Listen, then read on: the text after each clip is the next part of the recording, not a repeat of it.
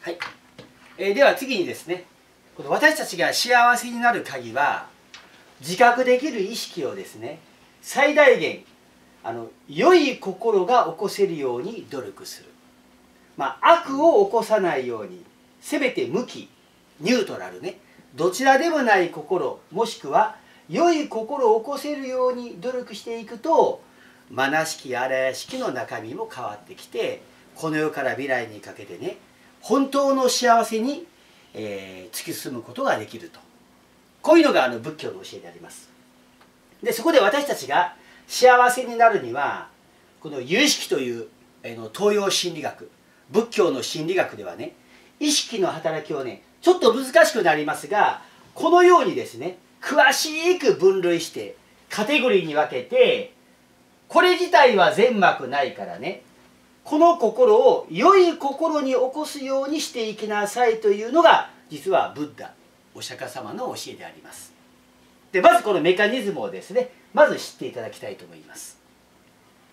まず意識をですね大きく2つに分けます。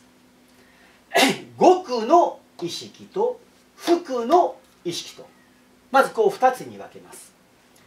どういうことかと言いますとねえー、まず極と言いますのはこれね全五色と一緒に共に働く意識を極の意識と言います。全五色と一緒に働く場合の意識をね極の意識と言います。これ「苦」というのはこれクラブの「空」ですね。意味は一緒にとか共にという意味ですね。人弁に「偶」と書いてね一緒にとか共にという意味がこのクラブの「苦」の意味であります。それともう一つ福の意識と言いましてね一緒に働かない。意識だけで働く心を福の意識と言いますね。前後式は関係ない、ね、我々の感覚とはね関係なしに意識だけで、ね、意識独自で意識だけで働く働きがまたあるんだと。前後式を抜きにして前後式関係なしに意識だけで働くのを福の意識と。まず2つに分けました。次にじゃあ全五色ね目耳鼻舌体のね5つの感覚と一緒に働くとはどういうことかと言いますとこれまた2つありまして五道縁の意識と不動縁の意識があると。ちょっと難しそうですみません。これ縁という漢字はこれねあの対象というのはね対象。対象ね。対象にするということを仏教でなぜかね縁ずるというんですね。仏教で縁ずるという言葉がありまして対象にするという言葉を仏教で縁ずると言いまして心は必ず対象がございますね。意識ならばあらゆるものを対象にいたします。で、えー、五道縁の意識といいますのはね5つの前後式とね同じ対象で働くのを五道縁の意識と言いますね。今皆さんならば私の話を聞いてますね。耳と意識が私の言葉に一緒に働いてるからね理解ができるんです。ところがね、えー、耳は聞いててもね意識でね別なことを考えてたらそれは一緒に働かなく書いたら意味がわからなくなります。これが不動縁なんです。五道縁というのは全五式と一緒に対象を一緒にして働く。で仏教では五道縁の意識が働いたらね意識が明瞭になりますね。仏教で明瞭と言いましてね。あの頭が良くなるのはですやっぱり集中するですね。明瞭と言いまして全五式と意識がね一緒に働いたら、ね、理解が深まるんですね。よく物事が正しく理解できるんです。で私たちはね心が散乱しまして、ね、この聞い取っても見とってもね頭で違うことを考えてしまうんです。全五式と、ね、一緒じゃない時にね途中から分からなくなったりとかねあのいうことがあるのはあの心を心にあらざれば見えども見えず聞けども聞こえずなんですね。心がそこになかったらね聞い取っても分からないしねあの見とっても分からないことがあるんですね。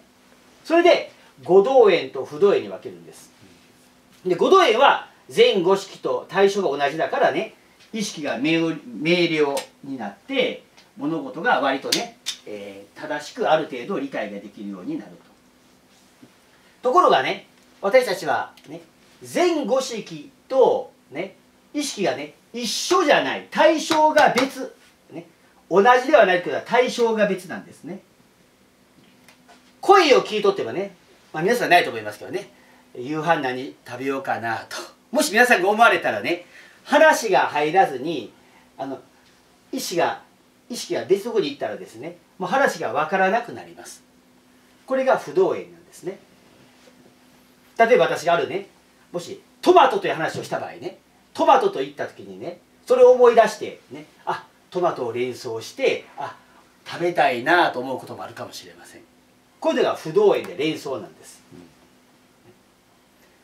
だから大きくね全五色と一緒に働く場合ではね一緒に対象が、ね、同じ場合は、ね、物事が明瞭で、ね、明らかにね完了しっかりと理解ができるけれども、ね、対象がずれた場合は、ねまあ、学校の授業でもそうですけどねあのしっかりずれたらねなかなかあの理解がよくできない場合が私たちあるんですね。例えば会議中でもね他のことを考えとったらあの話がわからんかったことがありますのもね。私たちはねこれなかなかうまくいかないこともあるんですわ。もうほっといたらねどんどんね意識がポンポンポンポンね飛んでしまうことがあるんです。それでこういう分類を仏教ではするんですね。だから連想ということですね。対象が同じではない。意識と前後式の対象がずれる場合を不動縁の意識と言います。でこれもねあの全膜両方ありますから。これいい場合と悪い場合があるんですね。で今で言うならば悪い場合は今言ったようにねあの大事な話を聞きながらね他のことを考えたりですね。あるものをみんなテレビ見ながらね他のことを考えたりするとあの見ていることが分からなくなることがありますね。これはまあ良くないです。せっかくね時間とって聞いたり見たりしとってもね他のことを考えたりしたらせっかくの時間がもったいなくなりますね。しかしまたねこの不動縁でもねこれ悪だけじゃない。善もあるんです。連想でもね良い連想と悪い連想があります。仏教ではこの連想についてはね良い連想を起こしなさいと教えるんです。例えばね一応知りて天下の秋を知るということわざがございます、ね、これ有名なことわざなんですけどね。霧の一つの葉っぱを見た途端ね天下の秋を知ると。なかなかすごいんですけどね。この葉っぱ一つの葉っぱがね霧の葉っぱが落ちたのを見た時ねあもう秋が来たんだと。いうことがありますね。これね一つの葉なんですわね。でもこれを連想してこれを縁として秋という真実を知るんです、まあ、仏教で言ったらね一つのことを通してねあの真理を知ることが大事だと教えるんです。仏教でこれ肝心とか漢方と言いましてねあのある物事をね例えばあのね、えー、水が流れてると、ね、それを見てねそれをよく見てね真理を悟った人がいるんですね。水がこぼれている。炎がねパッと消えた瞬間ねね悟った人がいるんです。物事をよく見るとねこれ現象ね現象の奥にね真理が実はあるんです、ね、あのニュートンでもねこのねこのリンゴが落ちたのを見てね万有引力の法則を発見しましたわね。そんな感じで。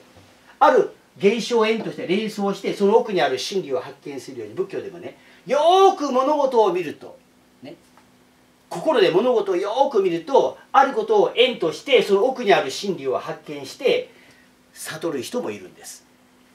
これなんか一つ例ですね。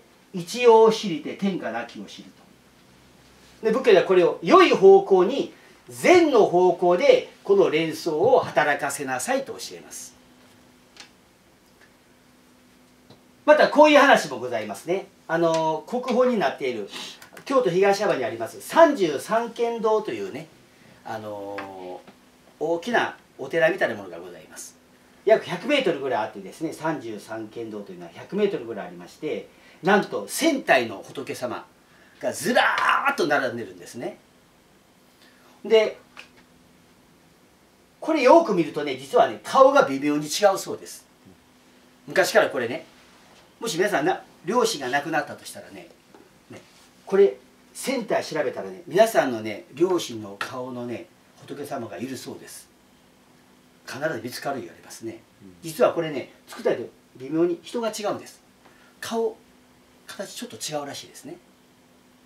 でじゃあなんで両親がいるかといったらねあのそれはもう霊空はっきり言いますと。皆さんの頭にあるね両親の顔とねで実際この船体微妙に顔形が違うんですわで連想してねあこの仏様は両親と似ていると勝手に思い込むんですけどねはっきり言いますと。それで船体も顔がいろんな顔がありますからね連想して皆さんの亡くな,、まあ、亡くなっていたとしたらばね亡くなったご両親がいたとしたらその亡くなった親の顔があるというふうに昔から言われるんです。これも連想なんです。だから自分の頭にある、ね、意識にある荒屋敷に収まってるそういうね過去の経験でそれとね実際のこの仏様を見たのとねつなぎ合わせてね連想して私たちはいろんなことを思ったりするんですね。まあ、これはまあいいか悪いかちょっとね置いといてこういうことを私たちは連想することがあるということなんですね。あるいはこんな話もございます。有名な歌にね「ほろほろと泣く泣く山鳥の声聞けば父かとぞ思う母かとぞ思う」という歌がありますね。ほろほろとこれ有名な歌ね。ほろほろと泣く山鳥の声聞けば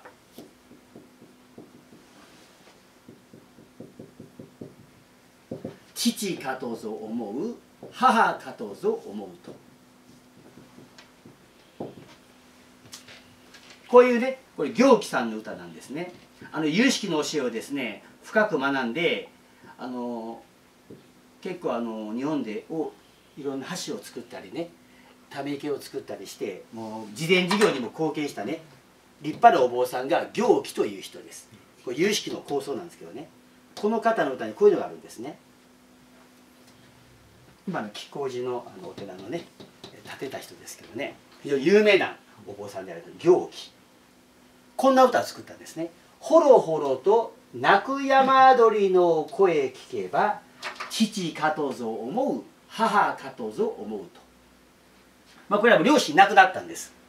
両親亡くなった後にね山を登った時にねあのー、山鳥山の鳥がねほろほろと鳴いてるんですね。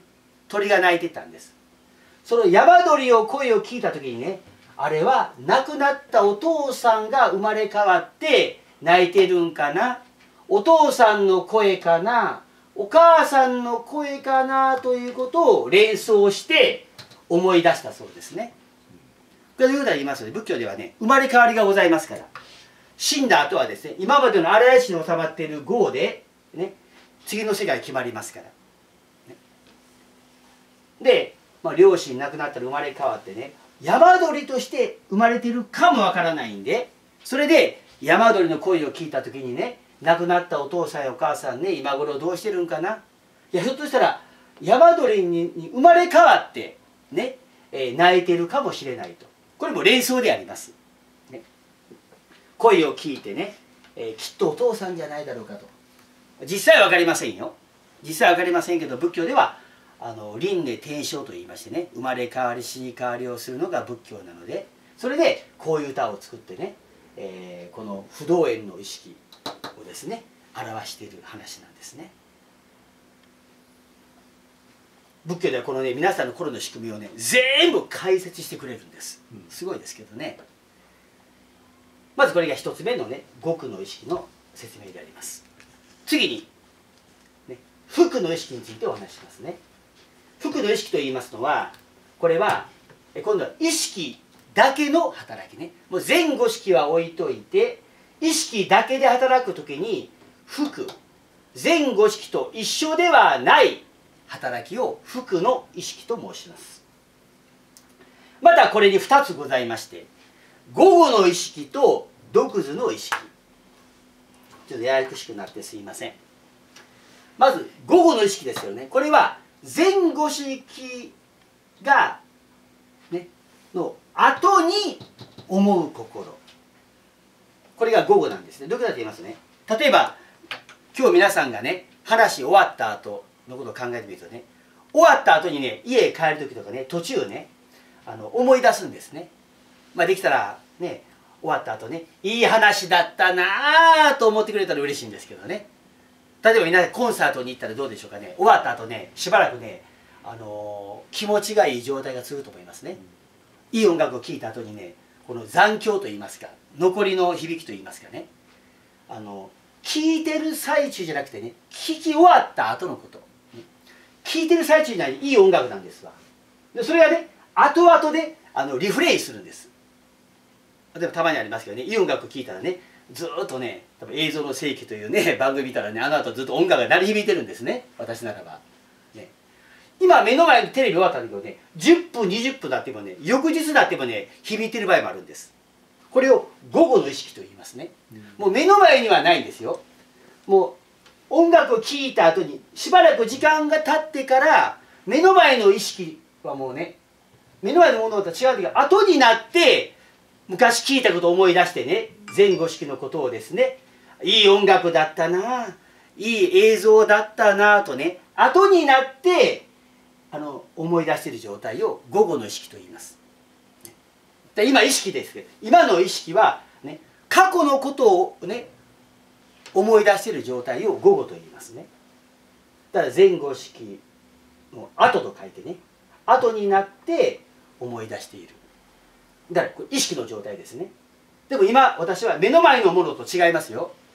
今テレビを見てます。ね。違うテレビだけどもね。昔聞いたものがずっと頭にねリフレインしている。こういう状態が午後の意識なんですね。これ皆さんあると思いますがね。まあいいものも悪いものも。これ悪いものがありますよね。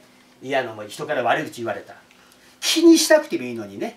いつまでもうじうじうじうじして。ね。ああ悪口言われた。ひどいこと言われた腹が立つ腹が立つとねうじうじうじうじ後悔してる人もありますね。そういうのはやめなさいとおっしゃいますね。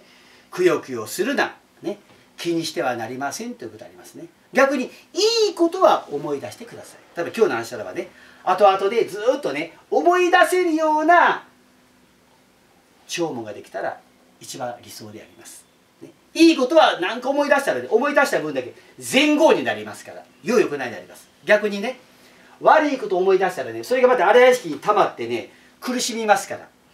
だから思い出すのもいいんだけどね悪いことを思い出すのはなしにしていいことばっかり思い出せたら思い出したらまたそれ幸せになりますから。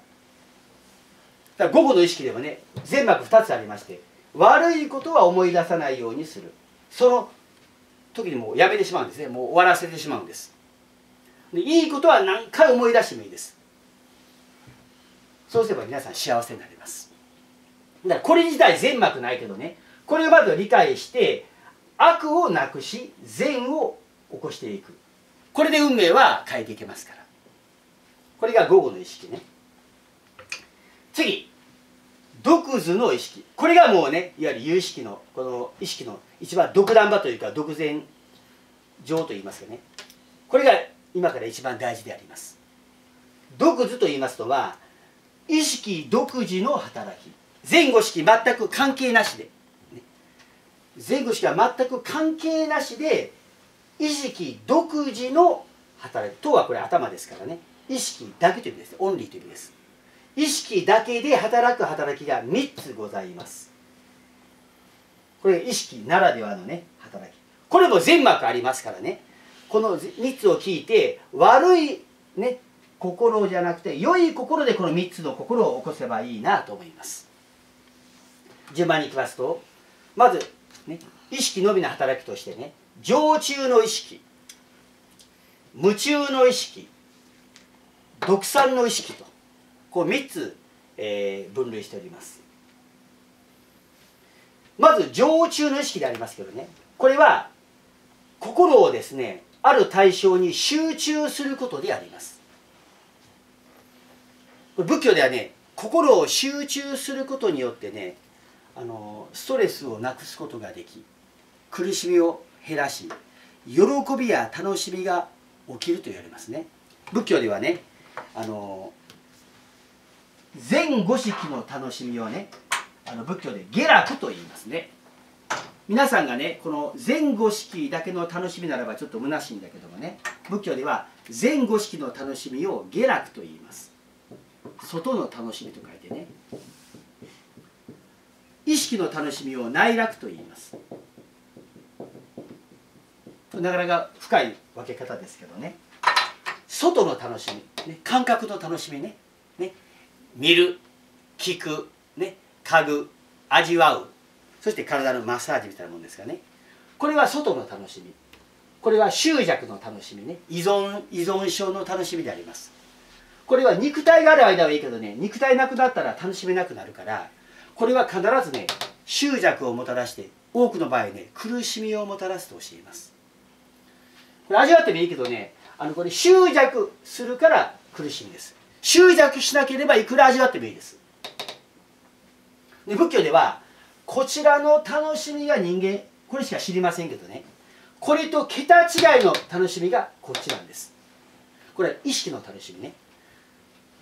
対象をね外じゃなくて自分の内側にねある対象に心を一つに集中する。この集中するだけであなたがねある物事にね集中するだけでねどうなるかといったらね喜びが起きる。楽しみが起きるんです。これ今のね脳医学からでも言われますけどねセロトニンが出るそうですね。例えば散歩でもねこの15分ぐらいするとね5分から15分したりするとねあるいはヒンズスクワットでもねセロトニンが出るそうですね。一つに集中するとあるいはリズミカル運動。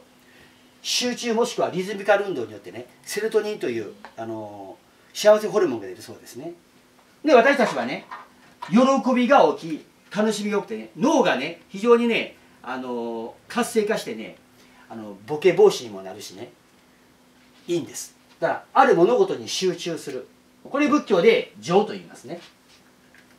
ある対象に集中することを仏教で情と言いますね。一つに集中する。だからあの座禅をするお坊さんもねこれを体験してるから幸せだそうなんです。壁に向かってずっと座禅してますわね。我々とあんなんねどこがいいんだと思いますわね。全然もうねね坊主してね、まあ、朝4時半に起きてねもう休みなしですあいうお坊さんなんかね掃除ばっかりして。あれでもねそれでも集中するから幸せ感じるんです。心を一つに集中したらねこの五欲以外の幸せが存在するんです。ね。見る聞く嗅ぐね。味わう体よりもね。心を一つに集中するだけで、ね、桁違いの喜びや楽しみがあると説くのが仏教なんです。それでね。こっちだったらねある意味死んだ後も持っていけるんです。こっちの場合は。これ下落はねもう死んだら肉体なくなるからね喜び消えますけどね。この内楽の幸せこれ仏教で禅情と言いますね。もし皆さんがこの禅情を体験これが幸せと感じられたらね死んだ後ね地獄に落ちることはないと言われます。禅情が楽しみだからね。禅宗の禅これ意味は沈める。情はこれ定めるね。心を集中する。そういう喜びが得られたらねもう語欲なくても幸せ。別にねお金や物がなくてもね心を集中させるだけで私は幸せ者でございますと。そういう境地なんです。だから情は非常にいいんですわ。ただあの情はこれね一応入ったり出たりするんですね。入場とかね出場といってね入って出たりする。出たら普通に戻ります。でもこれがもしできたらね心がねいつもね集中力高まっている状態だからねストレスがぐっと減ります。ほとんどストレスはなくなっていきます。これができた場合ね。なかなか難しいですけど。ただ今ねあのマインドフルネスと言いましてね。今世界で流行ってるんですけどね。この心を今に集中する、ね、今、ね、この訓練ができるとね本当に集中力も高まり能力も開発されてね。そしてストレスも軽減できるそうですね。だから心を集中させること。これはとてもいいことなんですね。今で皆さんでもねこれ本当にねこの聴聞に集中できたらね終わった後ね爽やかな心になります。これ何でもそうですわね。あの芸術でもねあの何でもね食べる場合でもねこの洗濯物を畳むとか家事をする場合でもねいらんことねこの妄想してやるよりはね一つに集中することによってねどんなものでも楽しくなります。ね、コピーのねそういう雑事でもねね掃除でも一つに集中して取り組めたらねどんなものでもねあの喜び楽しみが起きるんです。そしてどんなものでもねこれはいいとか悪いとか好きとか嫌いとかをねこれなくしていくのが実は仏教なんです。一つに集中してね一体感ですこれね。ガーとターに分ける。これをねなくすんです。一つに集中するということはですねねなりきる。一体という意味なんですね。ガー私たちはね世界をねガーとターに分けてるんです。これが私たちを苦しめるね。ガーとターに分けてる、ね、この壁これがあなたを苦しめるんです。この一体感というのはねガーもターもないんですね。一つになった状態。対象と私がね一体になった状態が禅情なんです。こうなるとねこの時は仏教ではね煩悩がお休みすると言います。休眠と言いましてね。煩悩がお休みしてねこの一体感禅情ができてる状態仏教では共安と言いましてね有識で共安と言いましてこういうことが起きるんですね。これ仏教禅の一つ。対象と私が一つになるとこの一時的にガタピシがない状態で重い心が軽くなり不安な心が安らかになります。普段はね重いんです。これ煩悩のこと言いますね。もう心散り散り乱しとったらねこれが重たくなるんです。でもね一つに集中することによってこれが軽くなる。これはなぜかと言ったら煩悩がねあのこの起きてない状態だから、ね、お休みしてますからね。これはものすごいね軽いんです。体も。心もね軽い状態。そして散り乱れとったらね不安がいつもあるんだけどもね。不安がなくて安心できるんです。今に集中してますから。心が一体感でね今に集中してるからね。まさにマインドフルネスなんです、ね、今に集中してるからね。不安が消えるんです。だからこの情、ね、今に集中する。この訓練によって私たちはね、あの、幸せを感じます。今に集中してたらね過去のことをうじうじしてませんからね後悔がないんです。だから過去のことをもうねあの囚われてない。未来の不安も消えます。今しかないから。仏教ではねもう過去も存在しない。未来も存在しない。あるのは今の一瞬だけなんです。これが仏教ですね。今しかない。今に集中できると、ね、重い心が軽くなり不安な心が安らかになります、ね、仏教ではこんなことがあるんですね。時間についてこう言うんですが。ちょっと難しいことはすいませんけどね。神無体現在実と言いましてね。過去も未来も実はもう存在しないんです。神無体。あるのは現在だけなんです。これが真実。これがあの悟った人の心です。これを私たちね真似したらあの近づけますね。仏教では過去と未来はもう体がない、ね、過去と未来はねもう存在しないんですわ。あるのはね現在しか実際にあるのはねあるのはね現在の一瞬だけなんです。現在の一瞬。これを仏教で今と言いますね。今。ね。今。ね。今の頃とこれ念と言いますけどね。今の心。もう今の一瞬、ね、いいと言ったらまあは未来ですけどね。まあと言ったらいいは過去ですけど。今なんか言えないですけどね。今というのはね。いいと言ったらまあは未来ね。まあと言ったらいいは過去ですけどね。今の一瞬一瞬。これが仏教でいう時間なんです。で悟った人はこれが分かるんですね。過去は存在しない。未来はまだ来てない。ね。過去と未来の体はない。存在しません。あるのは実際現実真実にあるのは現在の今の一瞬だけなんです。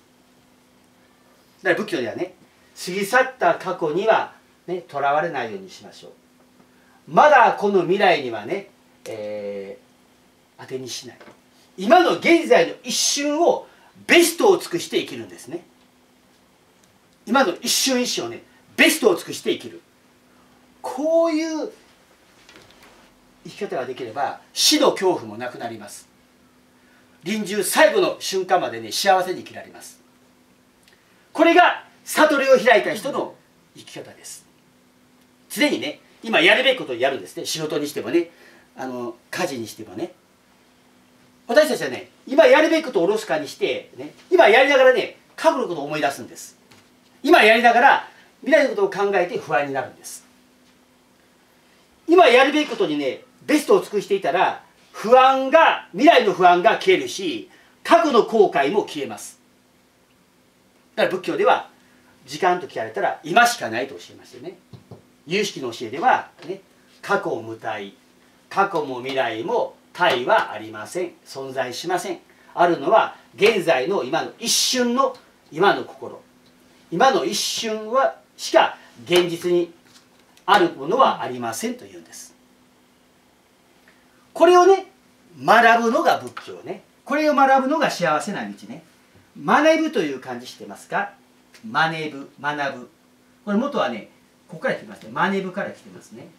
学ぶから学ぶになったんですね。もともとはこれ学ぶなんですね。学ぶこれが本当の学ぶの本当の意味です。元は。私たちは学問を学びますけどね。まずは真似から。悟った人の生き方。私たちの先哲はねそういうね悟った人がたくさんございます。本当の幸せになった方はたくさんおられますね。そういう方々のね、えー、生き方をね私たち学ぶんですね。学ぶこれはね最初はなかなか真似られませんけどね。これを真似ていけばだんだんねできるようになります。私もこれ努力していくとねあの不安もね消えていくし後悔も減っていきました。ついにね今やるべきことにねとにかく全力投球するんです。これが不安をなくす方法でありまた後悔をなくしていく方法ね。で今の一瞬一瞬がね善ならば次の瞬間は良い結果。次の瞬間は幸せな結果ですね。今の瞬間瞬間が善ならばね荒屋敷にどんどん良い行いが収まりますから。ただ未来もね素晴らしい未来が待ち構えるようになるんです。今やるべきことをおろすかしていたらねこれがほっといたらね悪もしくは無期だからね。決して未来幸せな未来は生み出されないんですわ。今おろすかにしてね。今やるべきことをやらずにね過去ばっかりで思い出してうじうじうじうじする。未来が不安になってねあの暗い頃でいたらねそれが悪いいい頃じゃないからね絶対幸せになれないんです。だから常にね今を生きる。今の瞬間をねベストを尽くして生きる。それで常駐で今やるべきことにね集中する。ことによって幸せになる。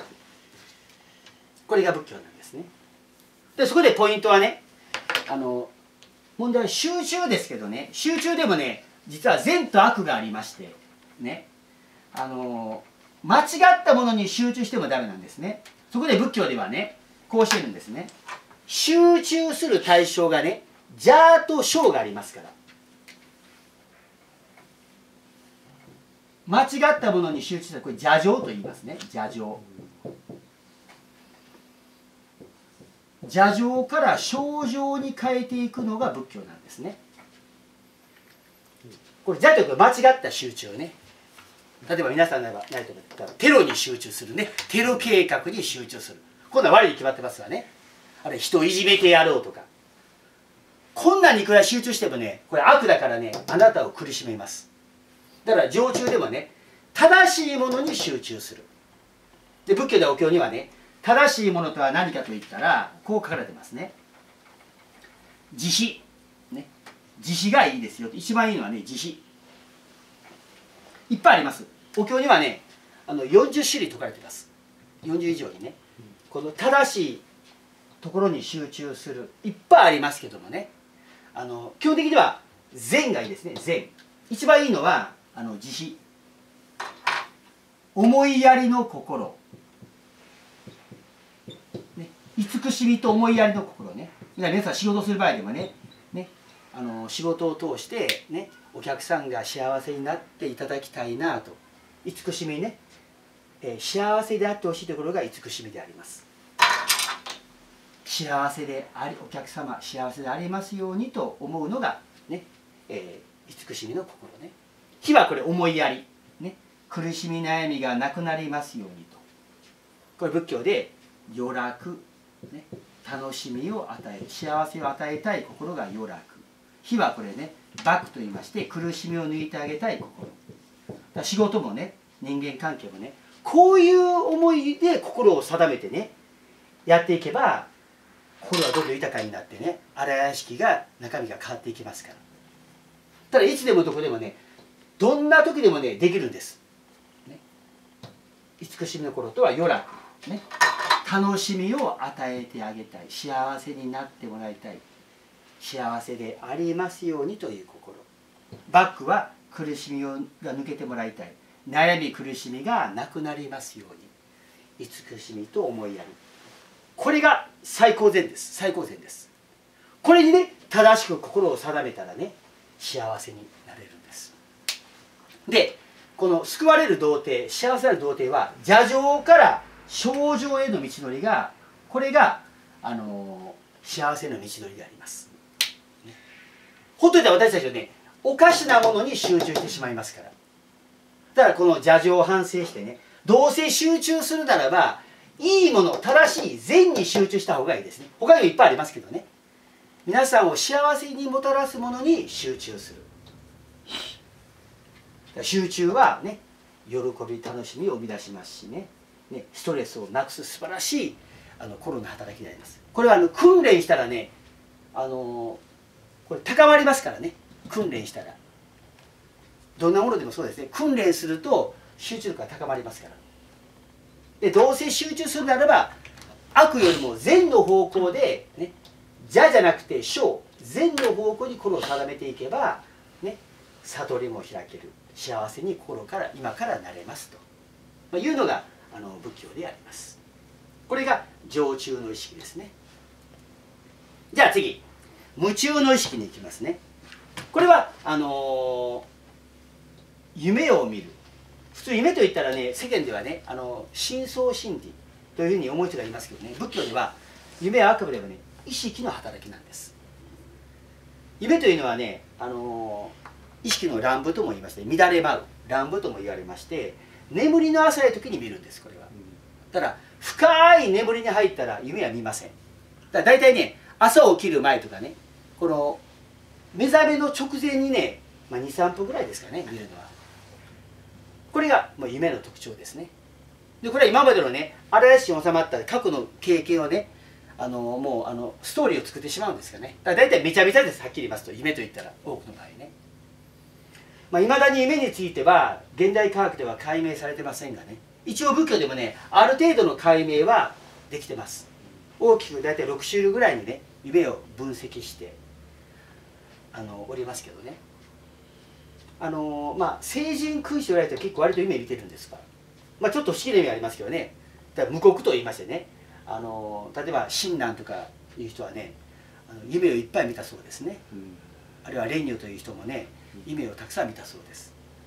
で夢だとちょっと不思議な夢はね霊夢と言いましてねちょっと面白いのが一つ紹介しますとねこういうのがあるんですね霊夢。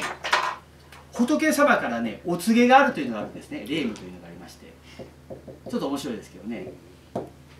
あの仏様からいただく夢が実はあるそうなんです、うん、これ特徴何かと言ったらね難しい御問がずっと頭に残るんです、うん、今までね聞いたこともないね難しい仏教のね漢文がね、うん、もうねずっと頭に残るんです。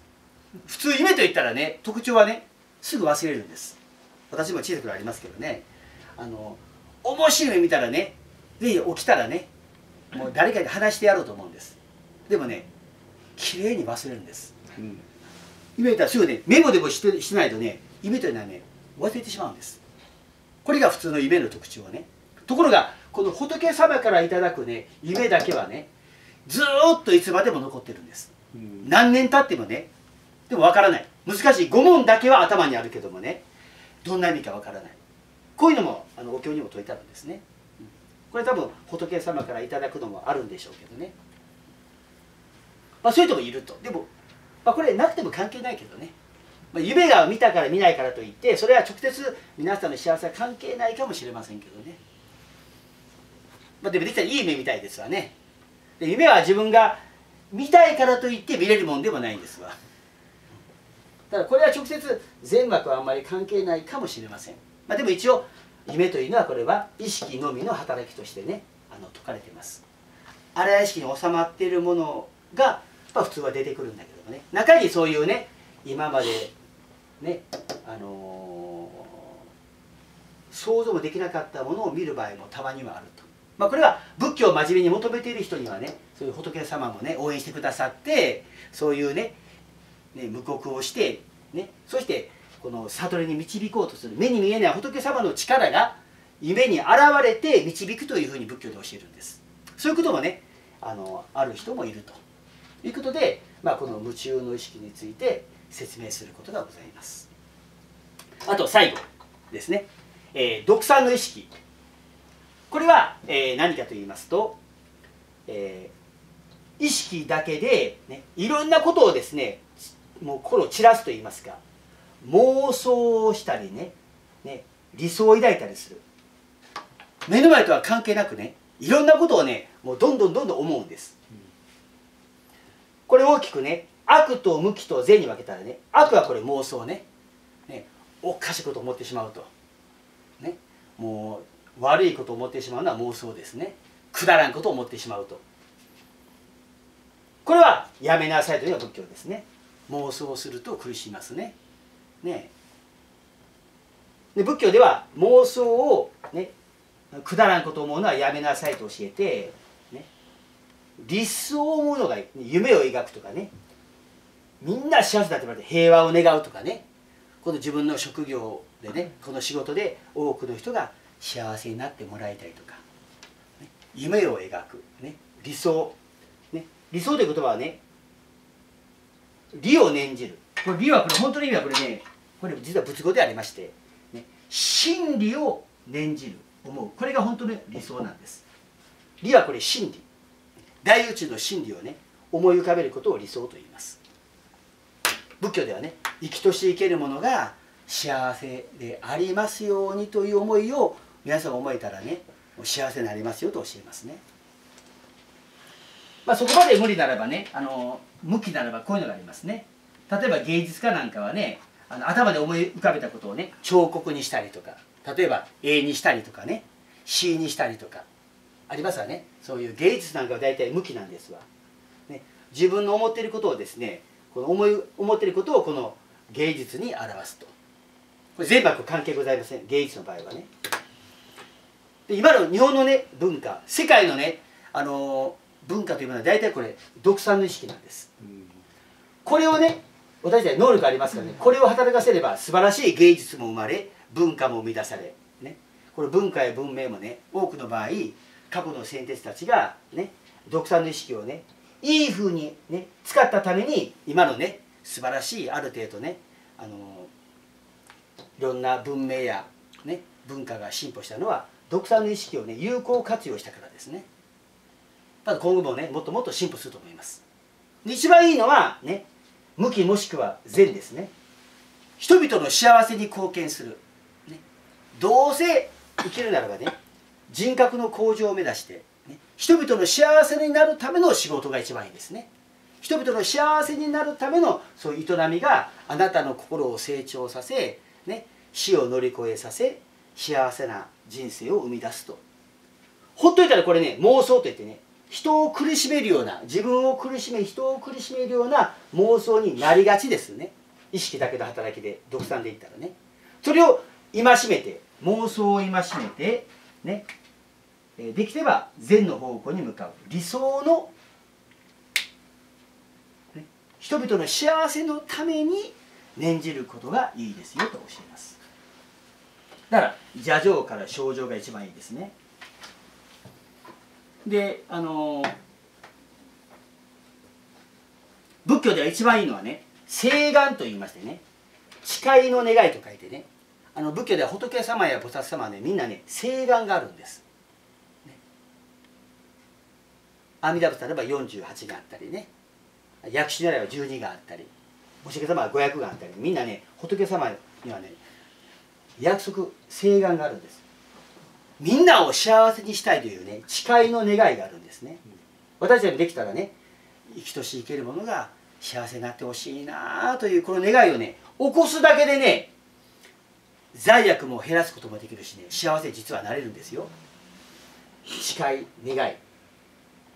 これ仏教で菩提心と言いますね。もし皆さんにねこの菩提心が起きたらねありがたいことにね地獄に落ちることはございません。だから仏教でこの菩提心をね起こすように進めるんです。菩提心とは私が幸せであるように皆さんにも幸せになってもらいたいということ。自利他のことですね。私が幸せであるように皆さんにも幸せになってもらいたいという心これを菩提心と言いますね。意味はこれ菩提とこれ知恵のことで仏になりたい頃です、ね、知恵を体得したい。私は仏になってねみんなを救いたい、ね、私も幸せ。一緒にね俺だけじゃなくて、ね、みんな一緒にね幸せになりませんかという心を仏教で菩提心と言います。この頃があったらね地獄に落ちませんから。もうこの世もね何回生まれ変わってもね人間界もしくは天上界で、えー、地獄や餓鬼や畜生に落ちることはないんでねこのこの菩提心を仏教では皆さんに勧めるんです。あの実例挙げますとねインドに有名なあの方にねアジャセという人がいました。お釈迦様の時代にねアジャセというね人がいましてこの人実はね超悪者なんですね。あのお父さんを殺してねお母さんをね幽閉してねあの恐ろしい悪いことをしたんです。アジャセこれ有名な人なんですけどね。アジャセね。親殺しをしたね恐ろしい極悪人なんだけどね。でもこの人ねあの最後お釈迦様が亡くなる時にね説法を聞いてね救われるんです。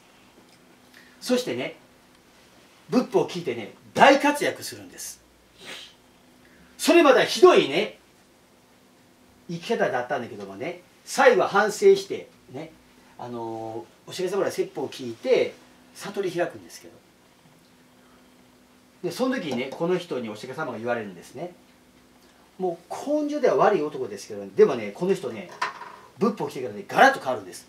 菩提心を起こしたことによってねもう悪が全部消えてねあの素晴らしい活躍するんです。あの仏教でね有名な人はアジャス以外であとねアショカ王がいますね。アショカ王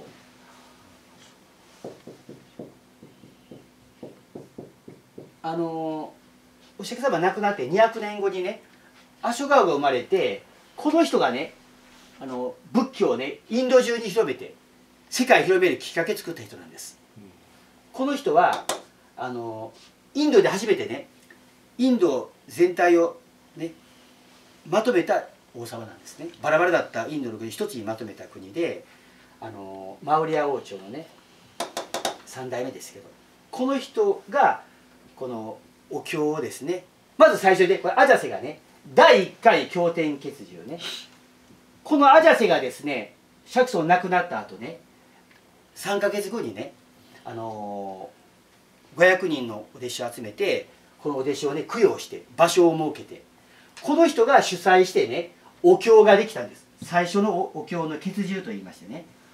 この人がいなかったらお経はなかったんです。だからこの人は大貢献した。この後ね亡くなるまで二十何年間ありますけどね、ひどい人間だったけどもね大活躍して仏法のためにね世のため人のために貢献したのでこの人はもう地獄に落ちない人として言われるんですね。普通だったらもうねこれ地獄に落ちる恐ろしい。罪作ったんだけどもね。仏法を聞いて菩提心を起こしたことによって、えー、もうあのね自分の幸せと人の幸せは一致する。この心が自分の悪をね消すし多くの人を幸せにする心にね広がっていくんですね。また自死のことが起きたんですよね。でこれを引き継いだのがアショカ王なんですね。この系統これマガタ国の王様なんです。この後でずっとね200年経ってこの方が現れて実はこれでもねひどい人間だったんですよ元は。何十万人虐殺した人なんだけどもね。懺悔してねガラッと大変わりしてこの方が、ね、仏法を守った。この方のおかげで、ね、仏教がね世界に広がるきっかけだったんです。で今のねあのインドのねあのあの国旗見たらね真ん中にねこの法輪といってねダルマチャクラと言いましてねこれ仏法のこれ実はねあの象徴なんですわ。法輪と言ってね仏法の輪でね法輪と言いまして仏法の輪で苦しみをなくなす意味なんでね。このインドの国章と言いましてね。法輪ダルマ真実の輪でこぼこしたねこの心をねローラーを引くと平らになりますね。皆さん仏法を聞いたらね心が平らになるんです。不安やあの苦しみがね抜き取られて平安な安心喜びが起きるんですね。ローラーによって。法の輪によって。ダルマチャクラと言いましてね。その象徴がインドのねこの中心のこのマークなんです。これは実はアショカ王のこれマークなんですがアショカ王の実はねその作ったというかその象徴がこのインドのね国旗に出ております。真ん中にあるね。あれよく見たらねこの仏教のマークですから人々を幸せにするシンボルがこのダルマチャクラと言いますね。でこの方を生み出したのもこれアジア地方からのことであってね。この方も菩提師を起こしたためにね今まで悪いこといっぱいしてきたけどもねこの菩提師を起こしたらね過去のね無料の悪も消せるんです、ね、荒井市収まってる中身をね変えることができるんです。だからこの頃起こしたら絶対地獄落ちませんから。だから五章もね心配ございません。でもなかなか起きませんけどね。どうしても我が強いためにね。ね自分の幸せと相手の幸せ。なかなか一致しないですわね。ね皆さん仏法を聞いてほしいこれなかなかこれ起きませんわなかなかね。ね俺さえ良ければとなりがちなんだけどもね。仏教ではね自分の幸せと人の幸せが一致できたらいいですよと。私が幸せであるように皆さんも幸せになってもらいたいということ。この頃があれば、ね、何回生まれ変わってもね地獄に落ちることはございませんとはっきりお経に書いてますから。でどうせ起こしたらばね独断ねね妄想じゃなくて理想あるいは誓願でね仏様と同じ心が起こせるように実際できなくてもいいんですよ。思うだけでいいんです。思えたらあなたの心は幸せであれね悪は消せますから。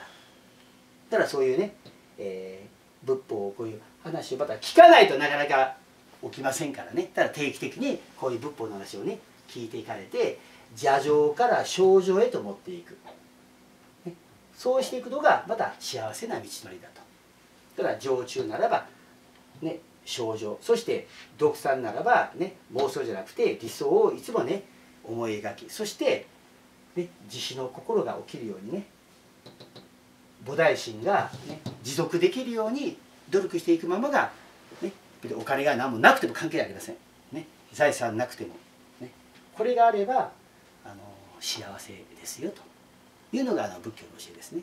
これが意識の、ね、働きを教えたね御心であります。はい。じゃあ休憩を入れたいと思います。